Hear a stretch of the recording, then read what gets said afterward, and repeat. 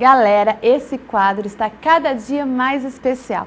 Tem aparecido cada figurinha por aqui que, olha, nós apaixonados por animais estamos amando e com certeza ajudando aí muita gente a conhecer mais sobre as raças e assim não ter dúvida quando pensar em adquirir um novo cão ou ainda compartilhar experiências com outros proprietários, não é verdade? Então, chega de conversa e vamos conhecer o Cuvas.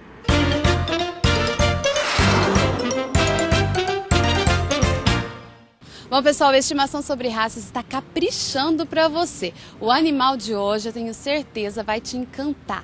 É o Cuvas, essa raça linda, maravilhosa, pouco difundida, porque eu, particularmente, aqui em Ribeirão Preto, nunca tinha visto. Mas para falar com propriedade e autoridade sobre ela, é o proprietário, é claro, Antônio Alexandre, tudo jóia? Tudo bem com você? Tudo ótimo. Vamos lá, apresenta essa raça pra gente. Pois é, esse aqui é meu amigo, ele chama Pachá. E essa raça é uma raça especial por vários aspectos. Além de ser uma raça muito dócil, ideal para cuidar não só do, do território, mas também protetor das crianças, dos, do, do, do, proprietário, né? E é um cachorro é, limpo, né? Embora tenha bastante pelo, é um cachorro que solta pouco pelo. Não late, uma vantagem dele também é que ele não late à toa. Ele só late quando ele vê perigo, quando ele está muito excitado. E bom, é isso aí, ó. Tá aí meu cachorrinho para você. Qual que é a origem dele? Eu, ele é húngaro. E como, como maior qualidade dele é a amizade, né? A parceria que a gente tem, a comunicação é, minha com ele é uma coisa assim incrível. É, você até estava contando uma história pra gente de uma época que ele ficou longe de você. Como que é? Pois é, ele ficou uma época 30 dias longe, né? A gente ficou sem se ver, ele, nesse período ele ficou sem se alimentar emagreceu bastante e não estava mais nem tomando água.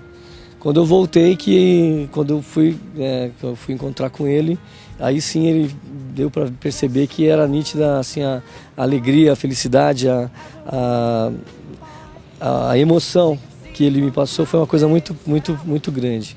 É uma é uma pessoa em forma de cão.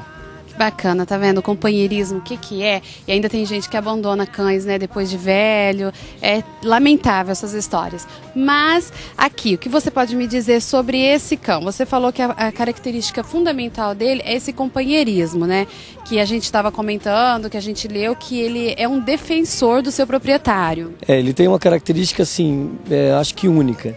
Mesmo que eu pedir para ele atacar alguma coisa, ou alguém, algum animal, ele não vai ele só ataca se ele, se ele sentir perigo, se ele se sentir em, em estado de alerta mesmo. Se eu, como já aconteceu uma vez, um amigo me, me, me abraçou por trás, ele pensou que, tava, que eu estava sendo agredido e ele foi em, minha, em minha defesa. Então, é, ele tem assim, ele, esse cachorro é um cachorro super na dele, né? Eu acredito que é, ele faz o que ele o instinto dele está sempre em alta nesse caso. Ele está sempre em alerta, ele está sempre ligado, mesmo quando aparentemente ele está dormindo, ele está sempre com o olhinho meio entreaberto. Então é realmente uma, uma raça impressionante. Alexandre, cão de grande porte já é o, o domar do cão já é mais complicado. Você me diria que essa raça precisa ser adestrada? Não, não acredito.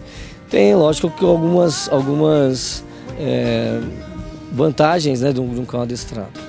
É, de repente, eu não, eu, eu não vi necessidade, entendeu? Não percebi, não, não, tive, não tive intenção nenhuma em, em domá-lo, porque acho que o amor, a, a, o próprio hábito né, dentro de casa, o, você, você coloca as regras e ele acaba aceitando.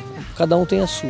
Né? Eu estabeleci as minhas com ele e está tudo certo. Ele aprende fácil aprende fácil. É um pouco teimoso quando, quando ele percebe que você não fala com, com um pouco de. É como uma criança, né? Se você não fala com autoridade, ele, ele demora para atender. E um proprietário, que cuidados especiais vai ter que ter com essa raça? Olha, eu acho que basicamente é realmente a atenção, né? o carinho que você vai precisar é, dedicar, como todas as outras raças, mas esse cão especificamente ele é um cão é, que, que não gosta de ficar sozinho. Né? Eu já cheguei a, a, a, trabalhar longe dele e eu percebo que sempre que ele fica, so, que ele fica sozinho, ele, ele fica triste, muito triste. Ele aparentemente assim, ele, ele entra em depressão, literalmente em depressão. Tá vendo? Então, para você, antes de adquirir qualquer raça de animal, procure saber sobre ela com os proprietários, não só no local onde você vai adquirir, se for de presente, mas mantenha-se informado para ter bem o seu bichinho de estimação.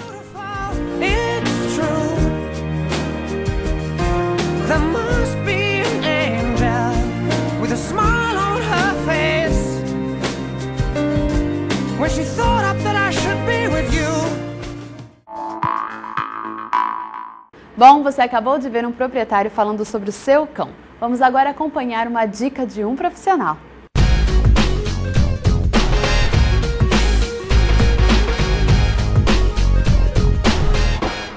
Oi, tudo bom? A dica de hoje é sobre a escolha do filhote. Lembre-se, não haja por impulso. Aquela linda e meiga bolinha de pelo pode se transformar em um cachorro com mais de 40 quilos.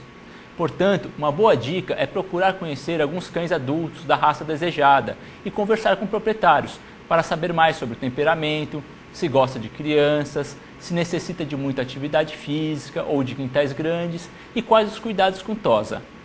Escolha um cão que se encaixe no seu padrão de vida e não somente pela beleza. Lembre-se que esse cachorro vai viver com você por muitos anos. Após ter decidido sobre a raça, chegou a hora de escolher filhote é muito importante conhecer os pais do filhote e a idoneidade do criador. Dessa maneira, você poderá ter a ideia do comportamento do cachorro quando adulto e evitar problemas com os filhotes. Lembre-se também da opção de se adquirir filhotes ou cães adultos em canis e abrigos de sociedades protetoras dos animais. Esses cãezinhos que foram abandonados podem proporcionar tantas ou mais alegrias quanto um cão de raça. Bom, essa era a dica de hoje e até a semana que vem.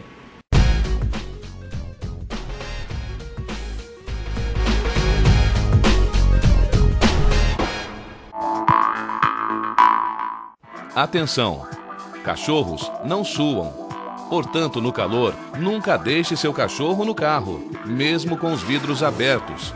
O animal pode ter danos cerebrais ou até mesmo morrer em 10 minutos.